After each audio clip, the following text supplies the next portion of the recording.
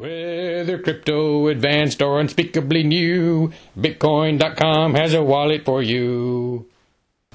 The United States of easily scared people. Uh, that's what I like to call this place when, well, on the rare occasions when there's a terror attack inside the United States like this one. The best statistics I have indicate that terrorists only manage to kill about 10 Americans each year between uh, 2009 and 2013. That hasn't stopped Americans from losing their shit, dropping their pants, and bending over to any government that says it's anti terrorist. And admittedly, there are some years where the numbers were higher. A lot higher, sometimes approaching 5 or 10% of the number of civilians that Americans kill in these so called terrorist countries. Anyway, having said that, terrorism is a real problem, and however small it might be, it's still useful to have some constructive things that we can do about it. Here are two that some of you, in your neocon rage, may not have thought of. In 2004, I was taking a, a kung fu class, and uh, there was a Saudi guy in the class, and I thought, you know, like anyone else, you know, oh, I wonder if he, he's Saudi, is he planning a terrorist attack? you know?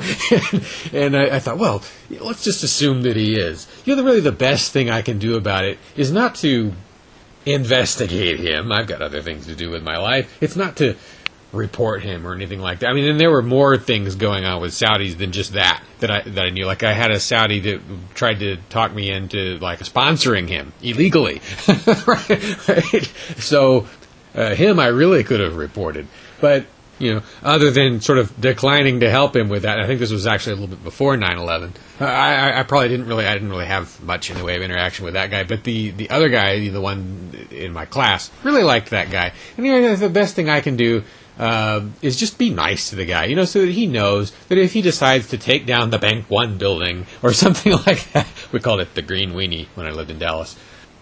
It was huge on the Dallas skyline. You've seen it, probably.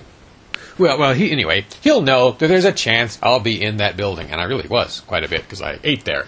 That's one thing I could do. But there's something else I'm doing more recently it probably won't have too much effect, but it can't hurt any. I mean, one of the reasons, if Saudis want to kill Americans, I suspect one of the reasons they want to kill Americans is because Americans tend to be ugly Americans.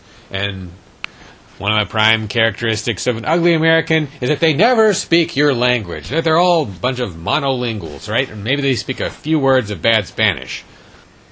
That's the stereotype. So I'm working on breaking that one this month and maybe next. Probably not much longer than that by learning Arabic. Probably not going to learn a ton. Again, just enough to prove I'm not an ugly American. So if any of you are listening and you speak Arabic, please tell me if I've got any of this wrong because I had to get it off of Google Translate. These are the most important phrases, I think. You know, if you only have to pick a, a, a, a couple sentences worth. أنا um, أنت كلام عربية لغة يوصفني عن عاصفة. Okay, so tell me if I said, if I really did say, I don't speak Arabic, I'm sorry.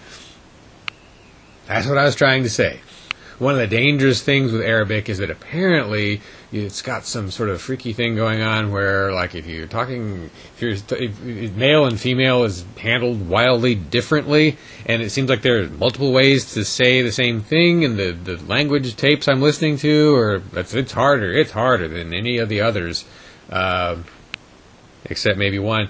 And again, I'm not going to frigging learn how to understand much of anything, but I think it is just a useful thing the average person can do uh, to, you know, reduce tensions between America and any other place. Just learn a little bit of, you know, some languages.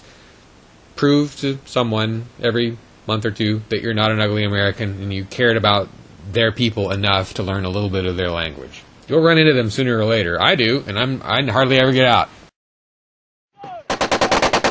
Why does the world look like this? Well, it's because you're using these instead of these. Admittedly, so am I sometimes.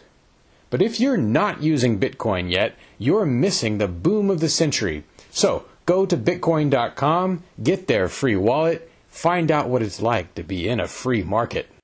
Whether crypto, advanced, or unspeakably new, Bitcoin.com has a wallet for you.